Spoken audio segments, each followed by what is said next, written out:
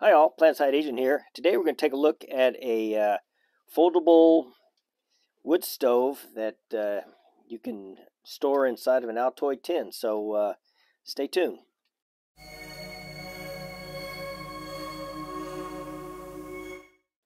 Okay, let's take a look at this. Um, this wood stove is an idea I got from um, Waypoint Survival. And I'll go ahead and put a link to his video that he made on this stove. And uh, also, well, I'll probably put some other links too. But anyway, so uh, standard Altoids tin, I did paint this one uh, actually with some automotive engine paint on the just to, for fun. Okay, and uh, what we have here on my version, and I'll discuss the differences here in a sec, is uh, it's a little grate to get the fire up off the bottom of the pan. This is a uh, Altoid tin alcohol burner that uh, Waypoint Survival also did. He did a bunch of Altoid stuff that, that I thought was pretty neat, so I made my own. But this is my version. I'll have a separate video on this with a burn test. Okay, and then uh, inside the tin is the uh, sides to the stove. And uh, he made his out of a out of a, a, a cookie sheet, and I did too. Uh, I've got a cookie sheet from uh, the dollar store, and I used my Dremel cutoff wheel to uh, cut it out. I, I've been using it for other stuff, not just this stove. Okay, well let's let's go ahead and discuss the stove first. Okay, it's got uh, two side pieces. It has the well, this I'm sorry, these are the two side pieces. They're identical, and then you have the uh, the feeder end and the uh, back end with the vent holes. Okay, now uh, Waypoint, his his stove, he didn't. Oops, he didn't drill out uh, any of these holes, and he didn't use this grate. He just built his fire in the bottom of it. So uh, I'll talk about why I did that later. Ah. Pick up this piece, but anyway, the way this works is uh, you uh, cut out the uh, the notches. Now he didn't give any any directions on sizes and and all of that stuff, dimensions. Um, he figured, yeah, if you're a crafty person, uh, you could do it yourself, which I'm a crafty person I did it myself. But since I had to measure out all of the uh, bits and pieces anyway, I uh, I went ahead and drew it out, and I've got all the dimensions for you. uh, so I'll, I will share them since I already did all the work anyway. I'll just go ahead and share it. But I do, I did draw them all out, and uh, I scanned this in, and I'll go ahead and post uh, the scanned copy in the video right here so you can uh, pause it and take a look at it.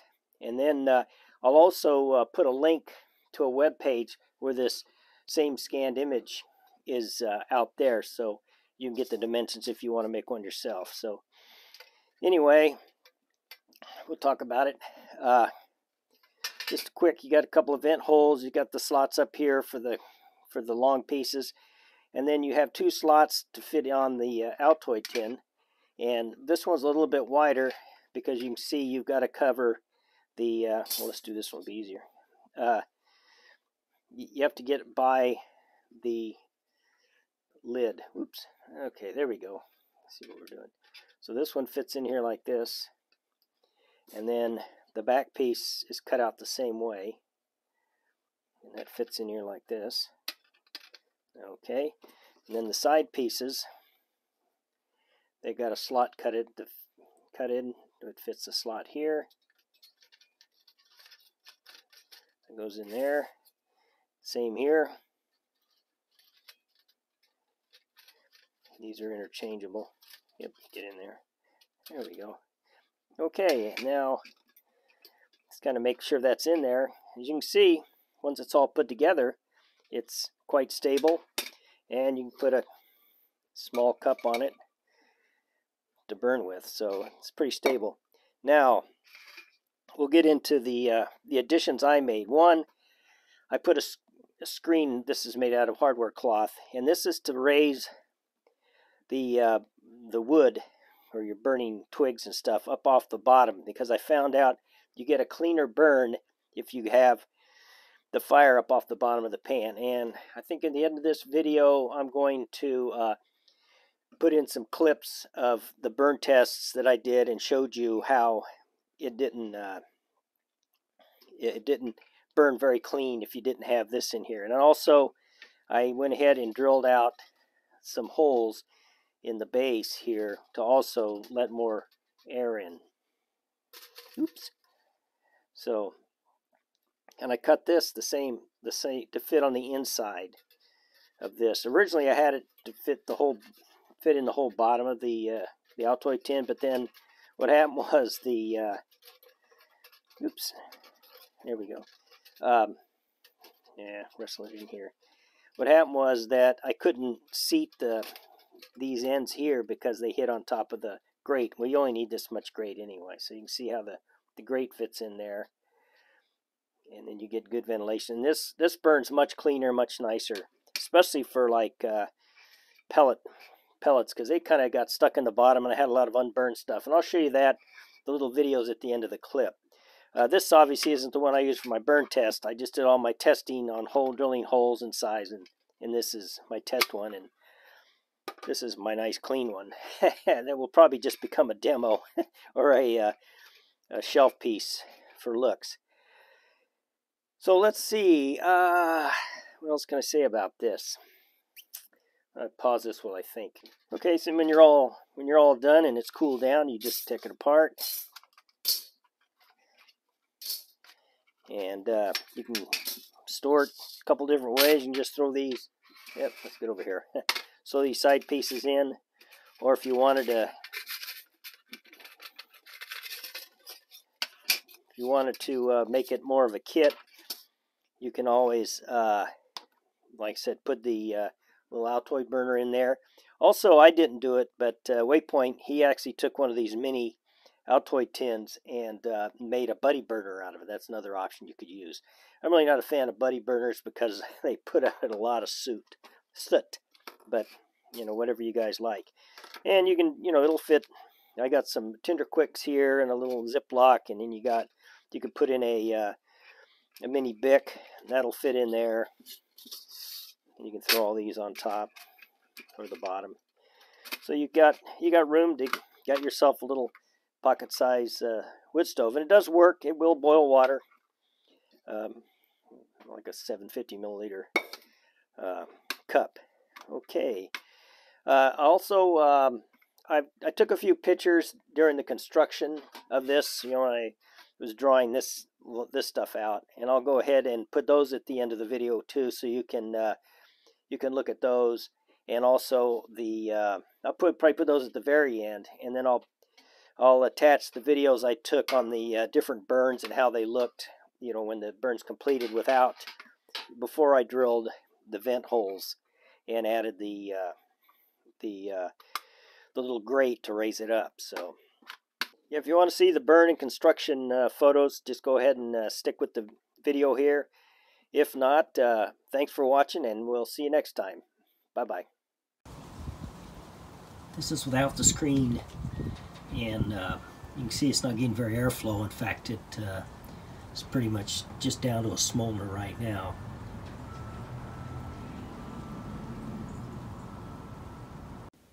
Okay, here are the remnants of the burn without the grate, but the vent holes. The vent holes really didn't make much of a difference. Still see a lot, uh, a lot of residue in there.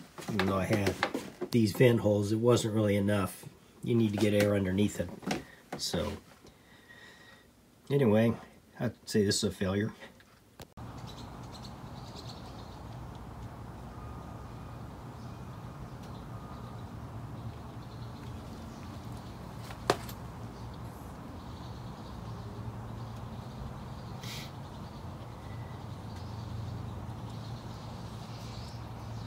Yeah, you can see Little bits of the pellets are falling out the sides of the stove.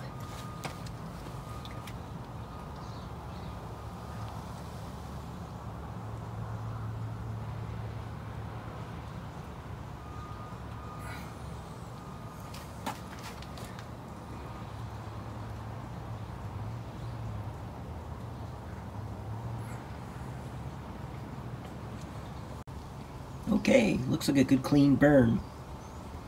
Nothing really left. So the little grate and the vent holes work great. Okay, the last little bit of this video, we're going to talk about uh, the construction of this stove. And uh, to start with, I went ahead and uh, I drew everything out so I could get the measurements. Uh, I measured off of the stove and to get the depths because uh, Waypoint Survival didn't give you anything, so I had to start from scratch. I had to measure the widths, the the lengths, the the depths for every for every piece of that. So um, I drew that all up.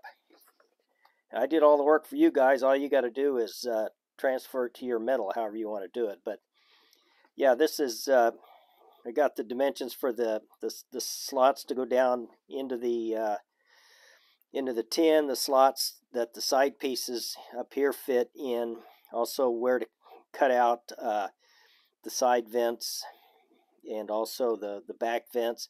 And also on top of this is the feeder is here. So this is the front and the back. Oops, I'm sorry. Let me start over again. Um, uh, let's, eh, we'll just start all over on this part.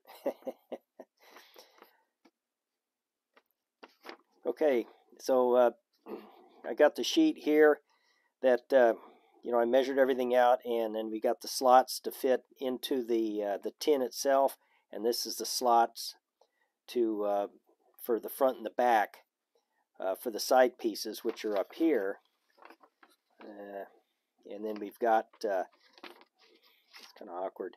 Sorry, this cut out the slots that you slide into the top and the two cutouts for the side venting and then this is the cutout for the front and the back, which will show you the where the two holes go and the size for the vent holes. And also this is for the cutout for the front. So the front and the back is here, kind of together. And um, the two sides are up here.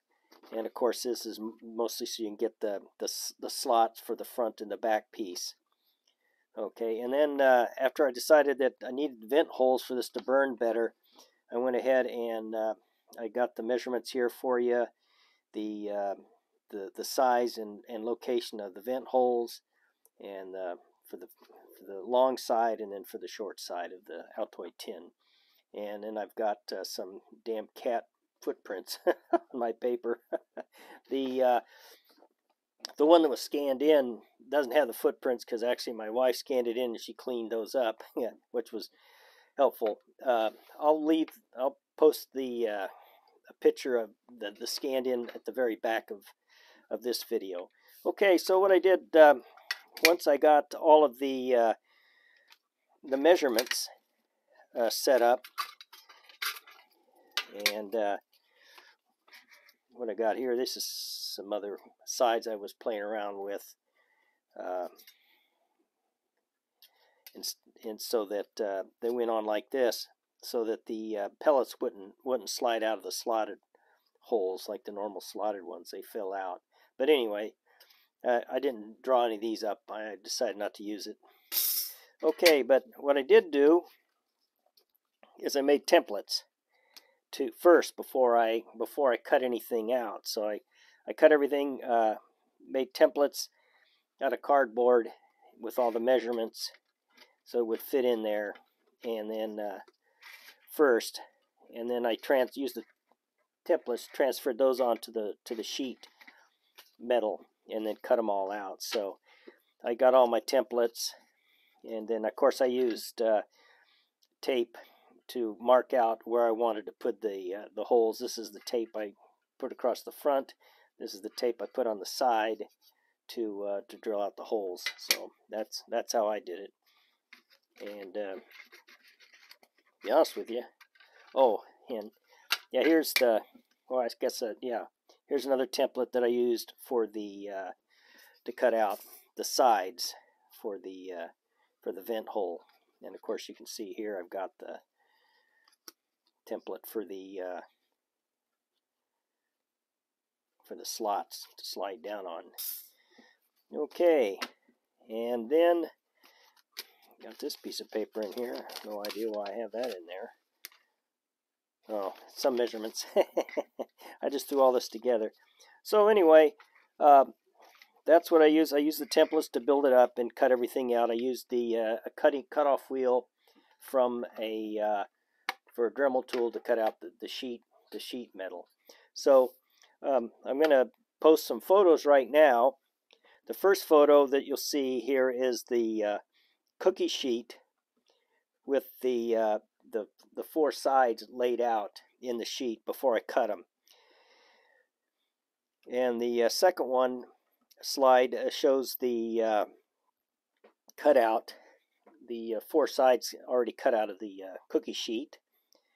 And here's the next slide is the uh, just showing you the templates and uh, this next shot is the uh, the four sides with the individual uh, slots that hold it together cut out. Okay and then uh, before I went too much further I put the stove together before I cut out this is before I cut out the vent holes in the feeder hole and I just put a pot on top of it the stove and it looks like it's going to work. And um, and here is the last shot is I'm kind of set up to start cutting out the the feed hole and the vent holes. So uh, that's um, that's just kind of the construction on this thing. And uh, again here's the uh, photo of the um, all my dimensions for the stove. And uh, I think that will do it. So uh, again thanks for watching. And uh, if you have any questions, just go ahead and post them in the comments. And like I said, I'll have uh, the link to uh, the other videos in the description, and also a link to a web page that has the uh, the photo, the scanned in image of all of my dimensions. If you want to go that route. So anyway, uh, thanks for watching, and uh, we'll see you next time. Bye bye.